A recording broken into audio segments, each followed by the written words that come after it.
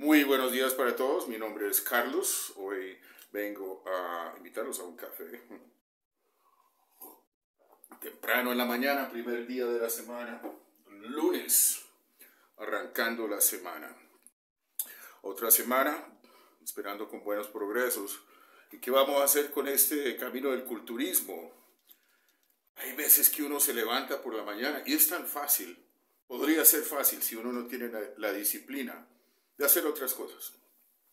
Pasa un día, pasa cinco días y ese no es el camino que conduce para los resultados finales del culturismo, del cuerpo que quieres tener, la fuerza que quieres tener, hombre o mujer. La verdad, esto se asegura, se garantiza cuando se hace como un estilo de vida, no como algo que nos enrolamos al gimnasio, vamos a ir a entrenar, estamos entrenando y es como que eh, una disciplina por rato, pero no es el estilo de vida, todavía no ha, no ha entrado a ser parte como del fundamento de la persona, que es parte de lo que siempre hace, siempre hace esto. Se hacen muchas cosas en la vida, el culturismo no excluye nada, ni el estudio, ni el trabajo, ni las relaciones personales, ni ninguna otra meta, ni ambición, ni visión que tenga en la vida. Es parte ordenador del resto del conjunto de las cosas. Es eh, lo que da parte como de la, disciplina, el rigor de los esfuerzos. No, solo en, la, en, la, en, la, esfuerzo físico, sino en la dieta. ¿Cómo se logran estos cuerpos? El ejercicio, claro.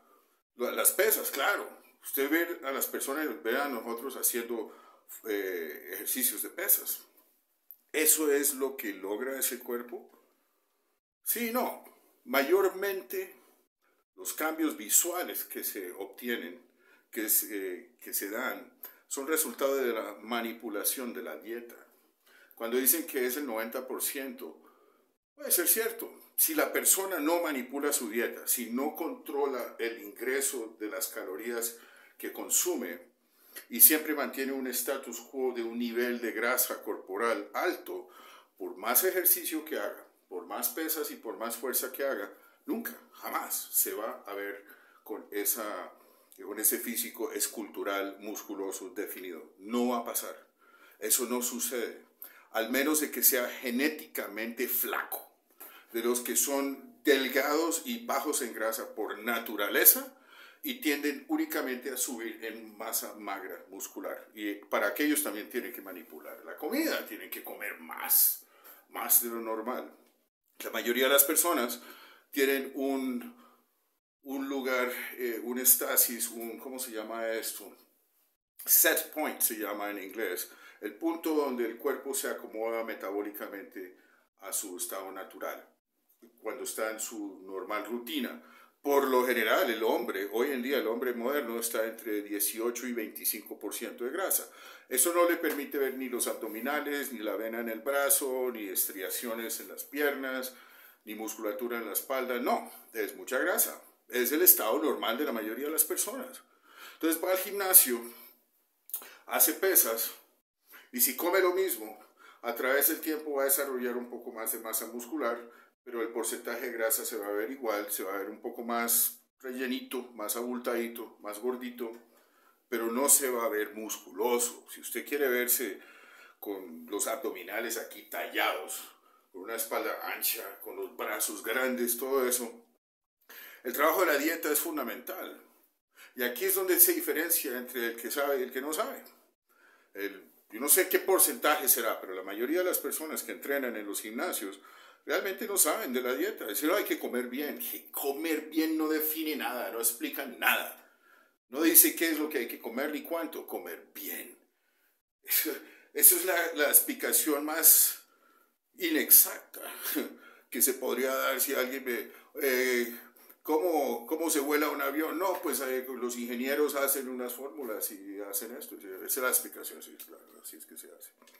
¿Cómo se come bien o se come bien? Explicaciones tan tontas. Es muy sencillo, en realidad, es muy sencillo. El cuerpo consume, utiliza calorías de los alimentos. Todos los alimentos contienen diferentes niveles de calorías, unos más que otros. El cuerpo de un hombre en talla normal, de 65 a 85 kilos, que es un rango bastante amplio, hablemos entre 2.000 y 3.000 calorías, por un ejemplo, 2.500, 3.500 calorías. 100 gramos de arroz cocido, 100 gramos, que es una porción pequeña, tiene 130 gramos, 130 eh, calorías. 100 gramos de, de carne, más o menos magra, tiene 240 calorías. eso se va sumando, las verduras, el pan, todo esto. Y todo lo que se come tiene calorías. Los aceites, las grasas, los lípidos tienen el doble de calorías que el resto de, los alimentos que se componen de proteína y carbohidrato. La persona que no mide sus calorías está comiendo a voluntad, eh, lo que el apetito le disponga o el bolsillo le, le permita, por lo general está comiendo más calorías de los que necesita. Bueno, listo. Entonces, ¿cómo se modifica esto? Lo voy, a seguir repitiendo siempre, siempre. Hay aplicaciones hoy en día que tú puedes bajar a tu celular. Uno se llama Fat Secret. Bájalo. fatsecret.com. ¡Ping! Ahí aparece. Ahí aparece. Dice las calorías de 100 gramos de avena, las calorías en una porción de pollo cocido, las porciones de habichuela con tanta, todo lo da. Entonces la persona aprende que todo tiene calorías. Las personas que aprenden a hacer esto por lo general al comienzo apuntan todo. Voy a un restaurante y pido un desayuno, eh, no sé, un caldo eh, con carne y papa y dos huevos y una arepa y una porción de algo. Y cogen el papel y apuntan lo que comieron. Luego van al Fat Secret, papá, papá, me comí 580 calorías al desayuno pero me falta el almuerzo, la comida y tres, eh, tres snacks por ahí. Y al final suma, uff, comí más calorías de los que me es permitido, entonces tiene que empezar a mirar cómo hago para limitar las, calorías. Y en la limitación, en la restricción, es cuando se ve si la persona lo va a hacer o no. Porque la restricción va a tener algo de apetito, más hambre, se le va a despertar más las ganas de comer no va a estar aguantando hambre. Si la persona hace una restricción correctamente, lo que va a hacer es, la grasa se va a ir de aquí, de los costados, se va a ir, se va, el músculo permanece, va cogiendo contorno y forma. Las personas le dicen, oiga, usted está haciendo, se ve diferente, se ve lo más de bien, ha rejuvenecido si tiene más de ciertos años, si está gordo, baja de grasa, se rejuvenece. Hay tantos ejemplos de cómo cambia la comida, la estructura del cuerpo. Es la, herramienta más poderosa. Si no me cree, haga un ayuno de 15, de, dos días sin comer, a ver qué tan poderoso es el, el eh, instinto de comer. Y qué tan poderoso es que la mayoría de las personas le es imposible, imposible prácticamente disciplinarse a no comer chatarras o galletas o algo tarde en la noche cuando tienen un ataque de hambre. Le da el ataque de hambre. Y sufren. Porque es difícil. Es un eh, instinto y una sensación muy poderosa que gobierna el, la mente. Y tienes que comer porque es un instinto de supervivencia. Aquí está la diferencia entre el que está gobernado por sus apetitos y la persona que está gobernado por su raciocinio, raciocinio. El culturista sabe, ya ha porcionado su comida y sabe que no se va a morir de hambre. Sabe que su cuerpo va a estar bien nutrido, no le va a faltar nada. Pero está en restricción, hay un déficit, hay menos energía, está comiendo menos energía de la que su cuerpo necesita para mantener el mismo nivel de grasa. Entonces, ¿qué sucede? El cuerpo empieza a consumir la grasa del cuerpo para darle energía para sus actividades. Echa mano de sus reservas. Va bajando el nivel de grasa. Para que no baje el nivel de músculo, que es lo que sucede con las personas que hacen una dieta y se restringen de todo, no hacen ejercicio porque se bajan de energía, se sienten débiles, están a dieta, están haciendo ayuno y pues cómo van a hacer pesas. Y se bajan no tanto de, grasa, sino de músculo, y de energía, y de semblante, y de su fuerza vital se merma y son una expresión menos de lo que eran antes. disminuye su ser. Es posible que disminuya su densidad ósea.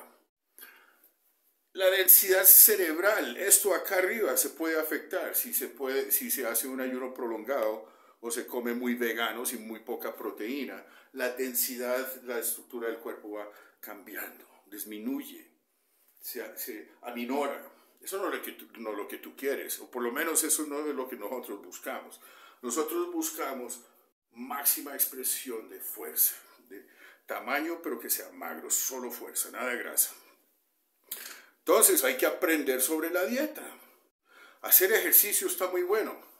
Si tú no manipulas tus alimentos con conocimiento, estás todavía al nivel de los principiantes, las personas que no han entrado a saber cómo es que se hace esto. Todavía está el misterio para ustedes.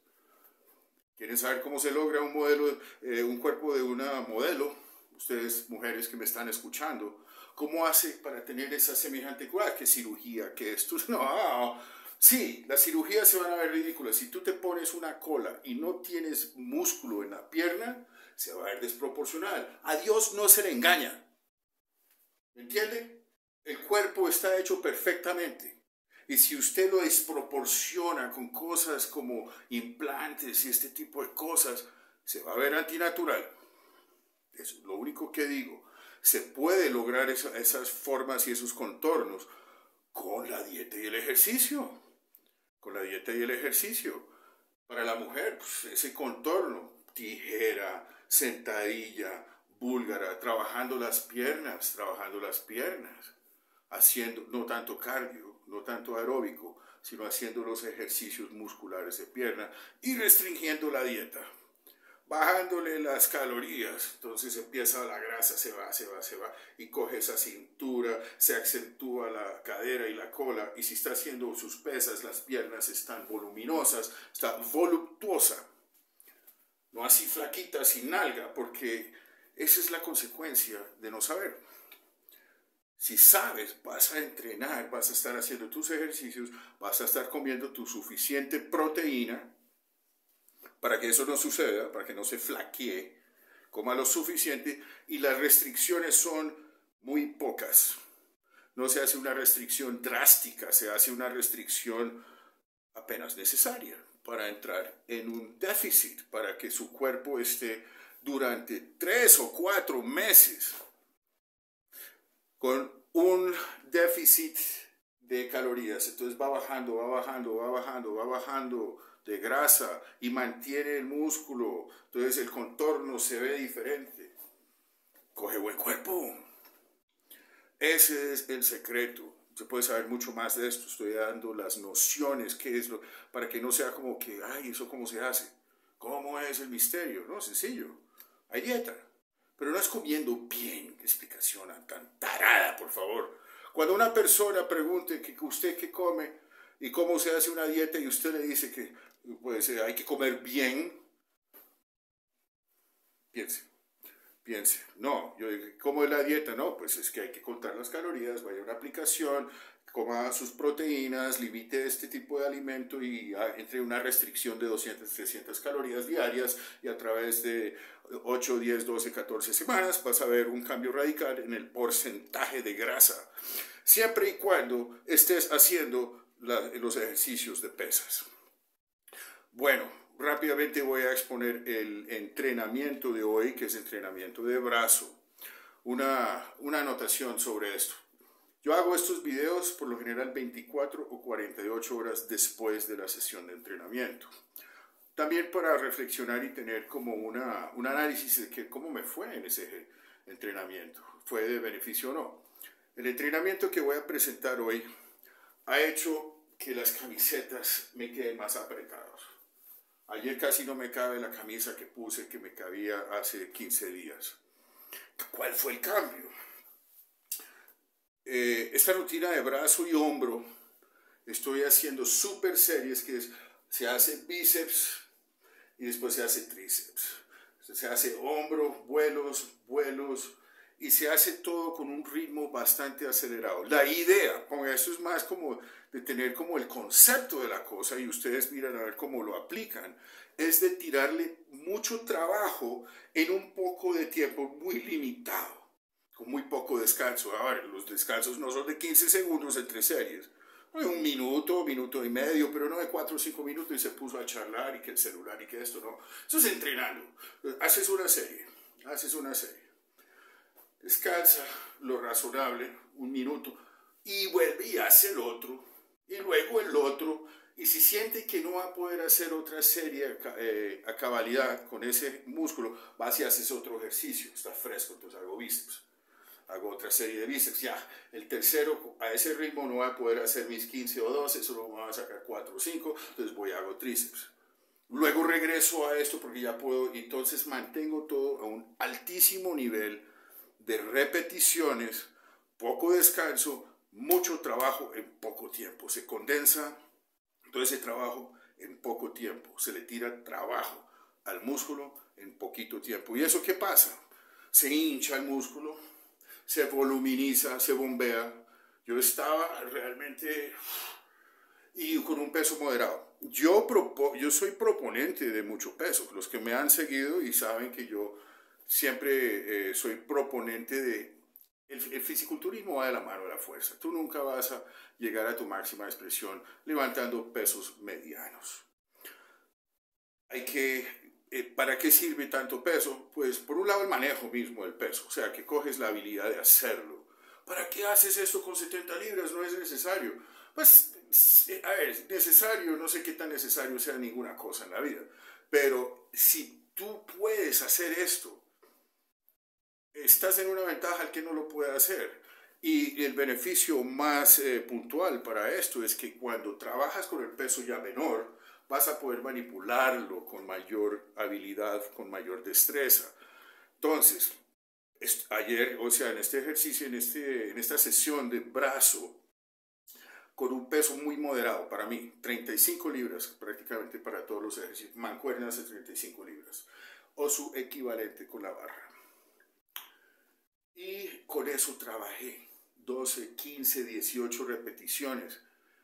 Ese tipo de volumen, ese tipo de peso moderado, que es como el 60, 65, 55% de la, de la máxima fuerza, me dio una capacidad de trabajar el músculo a voluntad, a hincharlo con trabajo otra anotación sobre los ejercicios de brazo, un hack que he aprendido y que lo, es, que lo comprobé en esta sesión, es apriete mucho con las manos cuando estés haciendo los bíceps. Porque tú puedes hacer un bíceps con la mano abierta y enfatizar solo esto y piensas que estás trabajando el bíceps con la mano suelta. Eso apenas sostiene esto y estás haciendo el bíceps. Cuando tú aprietas, aprietas, mejor dicho, con todo lo que tiene, aprieta esa pesa y hace la serie. La transmisión de la fuerza va a ser diferente y los resultados son radicalmente diferentes. Vi una vascularización durante el ejercicio que no se me da cuando no lo hago. ¿Sí me entiende? O sea, entonces tiene algo muy poderoso que lo diferencia de las otras técnicas. Entonces, apretar mucho cuando estás haciendo estos ejercicios de mancuernas, igualdad para los vuelos laterales. Una última palabra sobre el entrenamiento. Si tienes algún músculo que quieres desarrollar más, que está atrasado, que necesita más trabajo, eh, haga el trabajo, eh, eh, lo primero que hagas vas a hacer ese ejercicio, o sea, va a ser lo primero que se hace en el entrenamiento. En el último mes estaba enfatizando hombro frontal y los laterales, porque los deltoides posteriores los tengo bastante desarrollados debido a los remos y eso que hago con bastante peso, más sin embargo, ya venía mentalizado que necesito subir mi deltoide posterior. Entonces llega, primer ejercicio de la sesión, deltoide posterior. Estás fresco, estás sin fatiga de ninguna clase y vas a hacer un poco más de series que los demás ejercicios. Comencé con cinco series. Uno de calentamiento, de alta repetición, otro ya una, una aproximación y tres series de trabajo con las de 35 libras.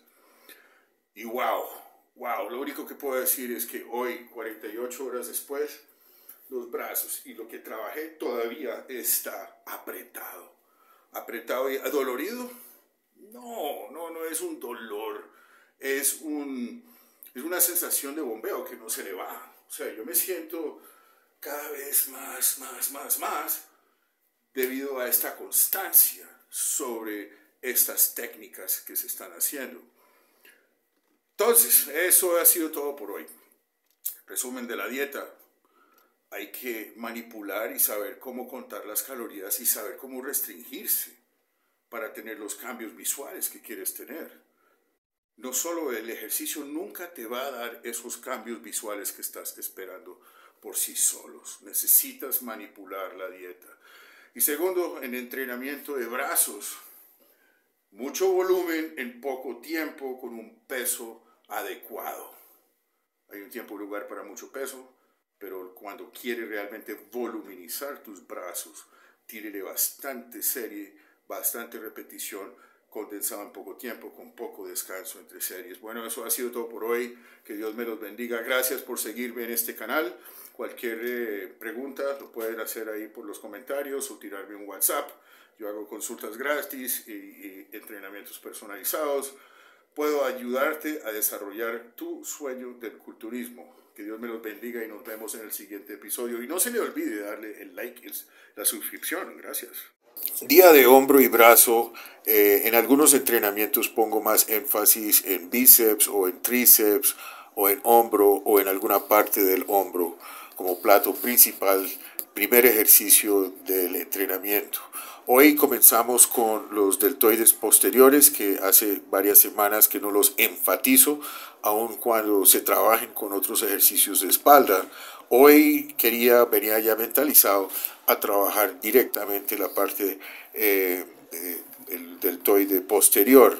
Comenzando aquí con mancuernas livianas de 15 libras la idea, aun cuando he subido a bastante peso, 50, 60, 70 libras con estos ejercicios, hoy la consigna es volumen, eh, serie, repetición y muy poco descanso entre series para bombeo y trabajo y eh, coger el músculo de otra, de otra forma. Hay, hay, un argumento ahí entre volumen y peso. Peso es el que da el tamaño y todo eso. Hay que hacer ambas cosas pero realmente es de mayor beneficio o mayormente entrenar con un peso moderado siempre y cuando estés empujando los límites de tu máximo peso eh, periódicamente. No lo puedes abandonar. La fuerza es parte intrínseca del fisiculturismo y no te puedes quedar con un peso cómodo. Hoy estamos trabajando con un peso que es cómodo con el sentido de agregarle volumen, velocidad de trabajo, y más, más eh, repeticiones. aquí hoy estamos trabajando con 35 libras,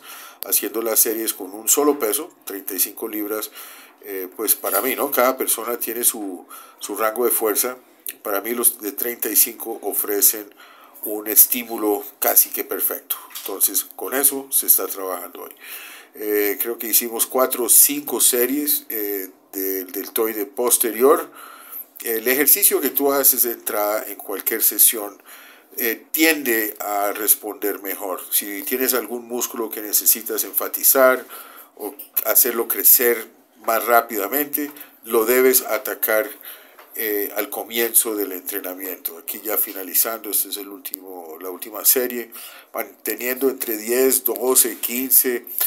las primeras series trato de hacer la máxima cantidad de repeticiones posibles. Bueno, hoy el bíceps Seguimos con los de 35 libras en el inclinado. La sesión eh, anterior los hice con 30 libras, me pareció muy fácil, 35 apenas. ¿Qué tan inclinado debe ser eh, el banquillo este? Apenas que cuelguen los brazos de una forma completamente vertical. No necesitas acostarte hacia atrás con tal de que queden colgando hacia los lados. Eh, digamos que, que que haya cierta luz con la espalda, va a poner suficiente estrés sobre los bíceps en todo el recorrido.